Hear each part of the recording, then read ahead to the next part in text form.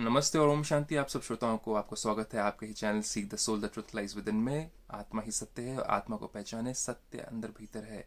आत्मा को पहचाना तो परमात्मा को पहचान पाएँगे हम। आराम से, आहिस्ते आहिस्ते। तो आज के वरदान में जाने से पहले जो लोग इस पर पहली बार आए हैं, श्रोता, आपके लिए लिंक दिया गया है इस यूट्यूब चैनल के लिए, जहाँ पर जाकर के आप प्लेलिस्ट में जाकर के योगासन डाइट प्लान चेयर पे बैठ के करने वाली एक्सरसाइजेस उसके साथ में डिप्रेशन के बारे में और रिलेशनशिप्स के बारे में बहुत सारे टॉपिक्स हैं, आप एक्सप्लोर कर सकते हैं जाकर नीचे। तो आइए, आज के हम ईश्वरीय वरदान में आगे बढ़े। दो सौ उनतीसवें दिन की ईश्वरीय वरदान में परमपिता परमात्मा हमारी वृत्ति, हमारा एटीट्यूड चेंज करने के लिए कहते हैं, ताकि ये कलयुग का जो भार है, वो हटे और ये सत्युग में आस्ते आस्ते परिवर्तन होने शुरू हो जाएगी दुनिया। तो देखें, बाबा कहते हैं कि आज ब्रह्म कुमारी इसमें।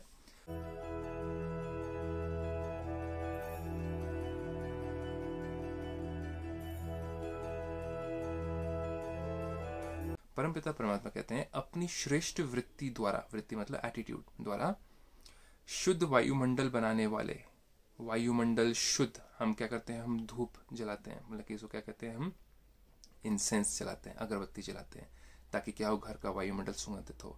लेकिन उस वायुमंडल में अगर सोच ही गंदी हो एक दूसरे के बारे में, है ना, पत्नी हस्बैंड के बारे में बुरा सोचती हो, गलतियाँ निकालती हो हस्बैंड अपने वाइफ के बारे में बुरा सोच रहा हो, बच्चे पेरेंट्स के बारे में अच्छा नहीं सोच रहे हो पेरेंट्स बच्चों के बारे में बुरा सोच रहे हों भाई भाई आपस में भाई बहन आपस में बहन भाई आपस में गलत सोच रहे हो, एक दूसरे के बारे में घृणा रखें तो आप जितने भी आप अगरबत्ती जला लो, जितनी पूजा कर लो, जितनी घंटी बजा लो, वो घर में शांति या खुशी आ ही नहीं सकती। आप सोचिएगा इसके बारे में। और शांति, खुशी नहीं तो सेहत खराब होती है। सेहत खराब होती तो धन बिगड़ता है। धन आपका सब सेहत पे जाता है। तो सोचिएगा इसके बारे में। तो परमात्मा कहते हैं, द्वारा वायुमंडल बनाने वाले सदा शक्तिशाली आत्मा भवा। विस्तार में चलते हैं। जो सदा अपनी श्रेष्ठ वृत्ति में स्थित रहते हैं। हम श्रेष्ठ वृत्ति क्या है? मैं पवित्र आत्मा हूँ। आपको एग्ज़ाम्पल दे रहे हैं जिसके हम ब्रह्म कुमारी हम प्रैक्टिस करते हैं। ये स्वमान है सेल्फ रिस्पेक्ट है सेल्फ अफर्मेशन कहिए आप इसको। स्व को मान देना। दुनिया तो मान नहीं देगी आपको, झूठा मान देगी, आपकी खूबसूरती के ऊपर मान देगी, धन दौलत के ऊपर मान देगी, आपने कुछ उपलब्धि पाई उसके ऊपर मान देगी, आपको प्रमोशन हुआ पोस्ट आपके ऊपर बढ़ गई आपने थोड़ा बिज़नेस में प्रॉफिट कर लिया, उसके लिए आपको मान देगी। लेकिन वो जो झूठ, झूठा मान है आपका। आज है, कल चला गया तो फिर वो मान भी चला गया साथ में। तो सच्चा सच्चा स्वमान क्या है? मैं सर्वशक्तिवान परमपिता परमात्मा की शक्तिशाली आत्मा हूँ। मैं महान, पवित्र आत्मा हूँ। मैं सब में अच्छा देखने वाली आत्मा हूँ। मैं सदगुण अपनाने वाली आत्मा हूँ। ये सारी चीज़ें क्या हो गई? ये स्वमान हो गए, है ना? मैं मधुर बोलने वाली आत्मा हूँ। मैं पवित्र सोचने वाली आत्मा हूँ। मैं सहन करने वाली आत्मा, सामना करने वाली आत्मा, निर्णय शक्ति मेरे साथ है। ये सारी चीज़ें स्वमान हो गए। तो जो सदा अपनी श्रेष्ठ वृत्ति में स्थित रहते हैं, वे कभी किसी भी वायुमंडल वाइब्रेशन में डगमग नहीं हो सकते। कोई आपको बहुत कुछ बुरा भला बोल दे, आप डगमग नहीं होंगे। हाँ अगर आपकी गलती है तो आप उसको जैसे कहा, मैं सहन करने वाली आत्मा, सहन शक्ति, आप सहन करेंगे, सामना करेंगे, व्यक्ति का नहीं अपने अंदर की गलतियों का, कमजोरियों का सामना करेंगे। हाँ मेरे अंदर है एक्सेप्टेंस के द्वारा।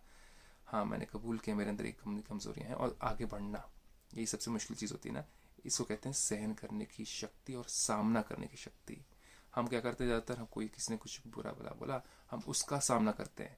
ये नहीं झाँक के देखते कि हमारे अंदर क्या है, क्योंकि हमारे अंदर ईगो बहुत होती है। वो ईगो के कारण हमें छोटी छोटी बातों पे हमें दुख होता है, दर्द होता है। ये ईगो की निशानी है। तो परमात्मा कहते हैं, उससे आपका वायुमंडल खराब हो जाता है, वो वृत्ति से। वृत्ति से ही वायुमंडल बनता है, घर का वायुमंडल हो, ऑफ़िस का वायुमंडल हो, बिज़नेस का वायुमंडल हो।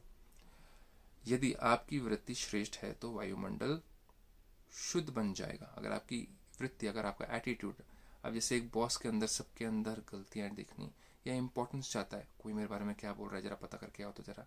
ये वृत्ति, ये एटीट्यूड रखा तो पूरा का पूरा वायुमंडल बिगड़ जाएगा। आप वहाँ पर पॉलिटिक्स स्टार्ट कर देंगे उस ऑर्गेनाइजेशन में। घर में भी ये होता है है ना? एक फेवरेट बच्चा हो गया आपका, अगर कोई एक बच्चा फेवरेट हो गया या बेटी फेवरेट हो गई आपकी तो वहाँ पे पॉलिटिक्स शुरू हो जाती है। समदृष्टि तो समानता रखना घर में भी। उसी तरीके से ऑफ़िस में भी वही सेम समदृष्टि रखना। तो ये चीज़ होगी वृत्ति से वायुमंडल खराब नहीं होता। तो शुद्ध बन जाएगा। कई वर्णन करते हैं कि क्या करें, वायुमंडल ही ऐसा था। अब क्या करें बॉस ने उसको गलत बोला तो हमें भी क्या करना पड़ा? हाँ जी हाँ जी करना पड़ा, नहीं तो प्रमोशन कैसे मिलेगी? आगे कैसे बढ़ेंगे? तो वहाँ पर सत्यता का मार्ग छोड़ दिया और भ्रष्टाचारी बन गए। तो परमात्मा कहते हैं, ये सारी चीज़ें करने से वायुमंडल बिगड़ता है। लास्ट में जाकर के वो आपके ऊपर भी आ सकता है, क्योंकि उनका जो, उनकी जो दृष्टि, उनका जो नज़रिया है, वो अगर किसी और के प्रति ऐसे तो आपके ऊपर भी हो सकता है वो। तो आप एक दिन बन सकते हैं, है ना? उस चपेट में आ सकते हैं आप। तो ये वृत्ति चेंज करना बहुत ज़रूरी है। घर में भी ये चेंज करना ज़रूरी है। चुगली करना, एक दूसरे बारे में करना फेवरेटिज्म करना, किसी को अपना फेवरेट बनाना, ये सब कुछ बंद करना बहुत ज़रूरी है। तो बाबा कहते हैं कई वर्णन करते हैं कि क्या करें, वायुमंडल ही ऐसा है।